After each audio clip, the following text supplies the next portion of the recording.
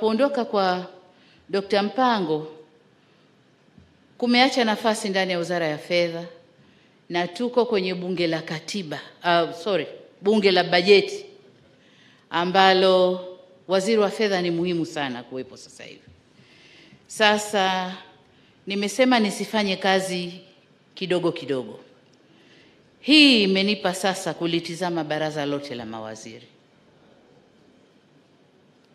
na kwa maana hiyo nimefanya mabadiliko madogo ndani ya baraza la mawaziri na nitalitaja baraza ambalo nimelipanga hapa. Zege hailali wanasema ni hapa.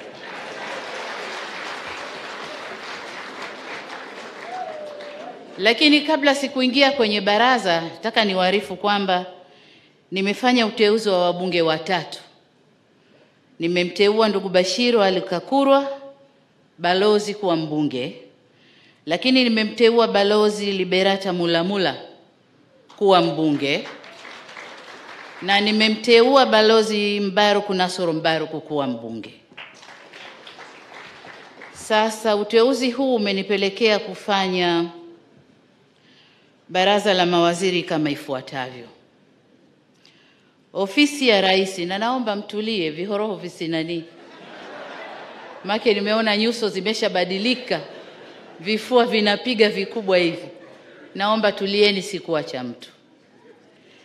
Ofisi ya Rais TAMISEMI, waziri wangu atakuwa Umi Mwalimu Ali, Umi Ali Mwalimu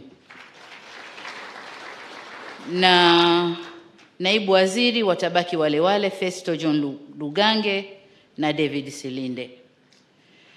Ofisi ya utumishi na utawala bora, waziri atakuwa Mohamed Omar Mchengerwa na naibu waziri atabakia Deogratius Ndejebi na Mwita Chacha Waitara. Mheshimiwa George Mkuchika anabaki kuwa waziri wangu ndani ya ofisi ya rais, nampa kazi maalum. Ofisi ya makamu wa rais, waziri wetu ndani ya ofisi ya makamu wa rais ni Suleiman Saidi Jafo na naibu waziri wake ni Hamadi Hassan Chande ambaye ni mheshimiwa mbunge. Ofisi ya waziri mkuu, sera, bunge, kazi, ulemavu na mambo mengine yote, waziri anabaki kwa Jenista Mhagama na ofisi hii sikuigusa. Ofisi inabaki kama ilivyo. Ofisi ya waziri mkuu uwekezaji, nimetoa kwenye ofisi ya rais, nimeishusha ndani chini ya waziri mkuu. Waziri hapa atakuwa Geoffrey Mwambe na naibu wake ni William Tate Olenasha, na nataka niwaambie muende mkaunde haraka hii wizara.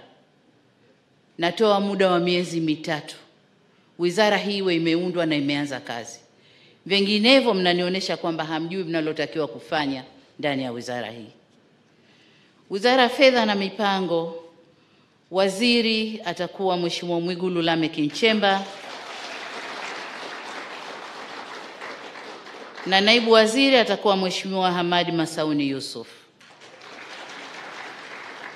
Wizara ya Katiba na Sheria, waziri atakuwa Mheshimiwa Palamagamba Aidan Kabudi na naibu waziri atakuwa Geoffrey Mizengo Pinda. Wizara ya Ulinzi sikuigusa, anabaki aliyekuwepo. Mambo ya nje, waziri atakuwa Mheshimiwa Balozi Liberata Mulamula na naibu waziri atakuwa Mheshimiwa Mbaruk Nasoro Mbaruk. Wizara Mambo ya Ndani inabaki kama ilivyo. Wizara ya Ujenzi na Uchukuzi inabaki kama ilivyo. Wizara ya Biashara na Viwanda, waziri atakuwa Alexander Kitila Mkumbo na naibu waziri wake atabakia kuwa Exaudi Kigahe. Wizara ya Madini inabaki kama ilivyo. Ardhi inabaki kama ilivyo.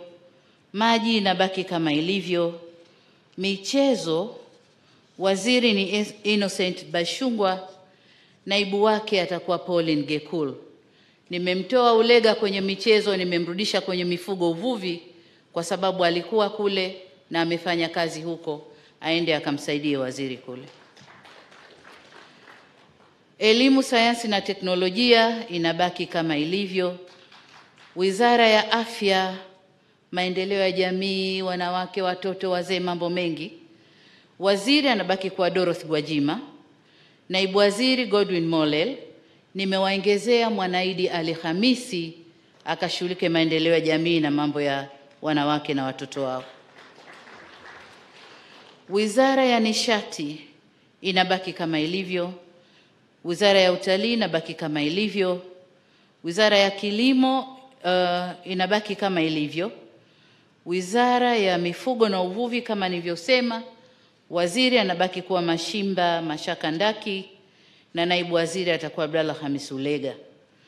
Wizara ya Teknolojia, Mawasiliano na Teknolojia ya Habari, waziri na naibu waziri wanabaki kama walivyo. Kwa hiyo ndugu zangu mawaziri, kwanza niwapongeze kwa kubaki,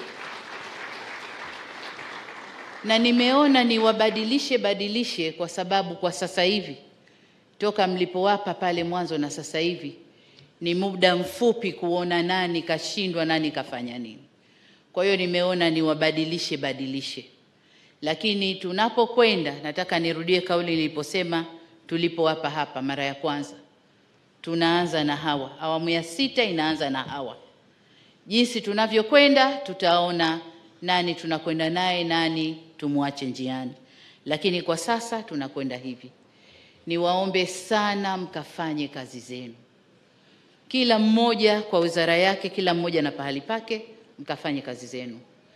Alivyosema hayati Dr. Magufuli, manaibu mawaziri wakatumike vizuri mna mtindo huwa hamwapangii kazi, kuna kudharauliana, na hata sasa hivi na baadhi ya kesi manaibu anadharau waziri wao, waziri anadharau naibu.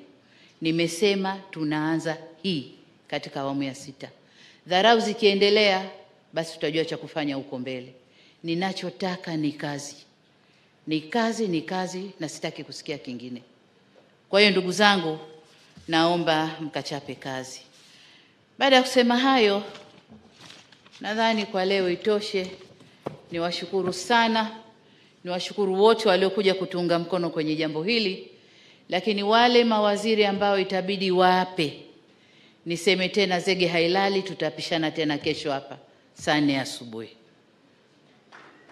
Tukienda mapumziko ya Easter, mambo yote yamekaa sawa. Kwa hiyo tunaingia Easter, aliyenuna kanuna, aliyefurahi kafurahi lakini tukiingia Easter mambo yote yamekaa sawa. Kwa hiyo kwa mawaziri ambao wanabidi waapishwe wataapishwa hapa. Kuna jambo jingine kwamba baada ya kumteua ndugu Bashiru Alikakurwa kuingia bungeni, nafasi yake iko wazi ya wa, uh, katibu mkuu kiongozi.